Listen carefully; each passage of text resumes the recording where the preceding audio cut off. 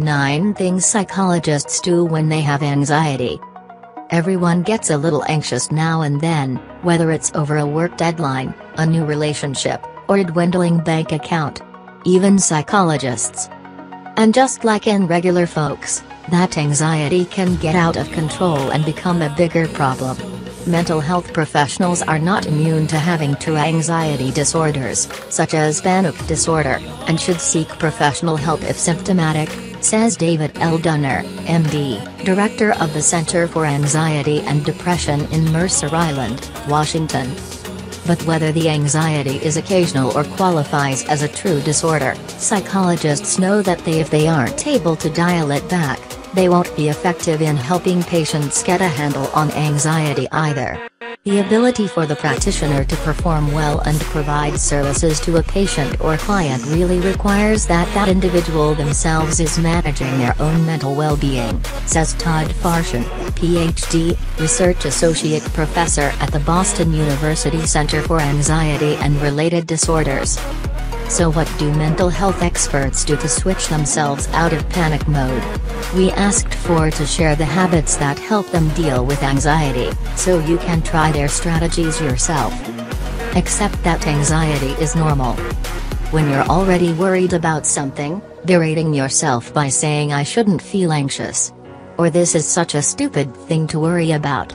Isn't going to make you feel any better, says Stephen Dietzow, PhD, co-founder of the Center for Anxiety and Behavior Therapy in Bryn Mawr, Pennsylvania.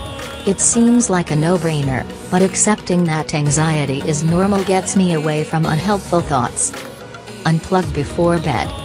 We don't have to tell you that between incessant email checking and social media scrolling, your phone stresses you out. Constant connection, however, can also fuel anxiety, especially when you're about to turn in for the night. I find I get anxious at bedtime. I've had sleep issues since I was a child, so I turn off my phone an hour before I want to go to sleep, says Larry D. Rosen, PhD, Professor Emeritus in the Psychology Department at California State University, Dominguez Hills and author of The Distracted Mind, Ancient Brains in a High-Tech World. I'll read a book preferably on paper, so I'm not getting the blue light from screens that turns off melatonin and releases awakening cortisol. Put anxiety in perspective. Anxiety is a signal telling you something is lurking that you're afraid of, says Franklin Schneier, MD, co-director of the Anxiety Disorders Clinic at the New York State Psychiatric Institute. To diminish it, I try to pin down the fear to something as specific as possible, he says. For example, I'm anxious about an upcoming work meeting because I may be asked to present information on a project, and the project is not going as planned, so people may think I'm incompetent. Getting down to that level of nitty gritty detail gives you an opportunity to put your anxiety in perspective, says Dr. Schneier.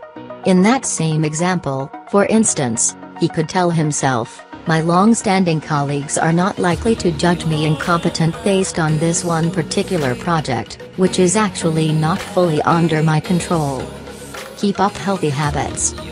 Slacking on healthy habits, like eating nutritiously and working out, can also trigger anxiety, says Tsao. When he's anxious, Tsao examines his lifestyle to find the cause. Have I been sleeping well? Have I been eating well? How physically active have I been? To this point, Farchione says that if he doesn't stick to his usual jiu-jitsu schedule of 3 to 4 classes a week, he's considerably more anxious on a daily basis and less confident in myself, he says. Reason your way out of it. It's all too easy to spiral into anxiety when we're convinced that someone is, say, upset with us, even if we don't have any actual proof they're ticked off. For instance, say I have a book chapter I'm writing and I'm behind on it. I might think, the editors, are upset with me and they'll never ask me to write a chapter again, Farchione says. In the moment, he tries to think of the opposite of that anxiety-riddled emotional reaction. If I really think it through, do I know that those people are upset? If they were, wouldn't they have followed up with me? I teach my patients to think about things in a different manner, to consider the alternatives, as a way to manage their own anxiety. Sing to yourself. If racing thoughts keep him awake, Rosen has another trick, he sings himself back to sleep. If I wake up at night and my brain starts going places that make me anxious, I hum in my head a snippet from a familiar song over and over, he says. Usually, my song snippet is Hotel California. That works most of the time. Singing with a group, like in a local community choir, has been shown to boost feel-good brain chemicals and lower stress and anxiety, so it's worth a shot on your own, too. Find a go-to coping strategy. As much as we'd all like to live anxiety-free, it just doesn't work that way. Anxiety is a fluid state that ebbs and flows for all humans, Sal says. My job is not to eradicate anxiety, it's to find a helpful way to tolerate it without inadvertently fueling it. Your goal is to learn to cope with anxiety rather than worsening those anxious thoughts and feelings. Sal recommends some simple life hacks, like setting clear work boundaries, for example, only allowing yourself to check your office email once or twice on weekends, taking a mind-clearing walk in the middle of the day, or talking things out with a loved one or colleague. Says Dr. Schneier, I try to think about what I can do now about the situation at hand, he says. Referencing his example of the anxiety-provoking work presentation, he explains that his coping strategy would be either to prepare an explanation of what is going wrong, or I can plan to use the meeting to gather ideas about solutions. Breathe deep. It's a commonly recommended anxiety buster, but that's because it works when I'm feeling unusually strong anxiety, or if I'm having trouble falling asleep due to worries, practice. Just do a simple exercise of meditating on my breathing, Dr. Schneier says. You don't need any kind of meditation experience to benefit from the soothing practice.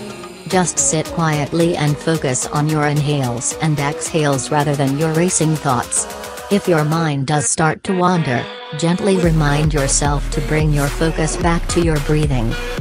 Go to therapy.